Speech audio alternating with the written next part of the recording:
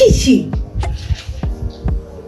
Ariana omulabamu nga sente nze mulaba nga Ariana kati gwe omulaba nga sente kiri gyoli kati nze ndaba kaziniwo nga muwala kati gwe omulabamu nga sente actually kakiri kiti kiri kiti ebyo byonna biwulidde oyagala kunnemesa oyagala kukola ki?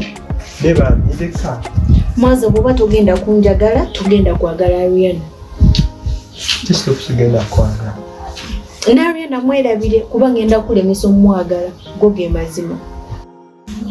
Kale byonna tubireke. Maze nkwagala olaba gwe nasooka okwagala. Buli kimu kyemanyi mulaavu gwe yakinjigiriza Nagambye senga saagala ongambe nti Ariana amufuniddeyo omusajja omulala okuwala nti walabye si kyamalako sina gwe kale kale kituufu- kale kituufu ye abadde abali tannazikiriza bulungi. Naye ate tekyakitegeezeza mufunira mulala nga nze tomuŋŋambyeko tetulina mulala gwe twafunye naye oli mulimba. Buli kyoyogera kya bulimba. Senga bulimba ki bwe nkugamba?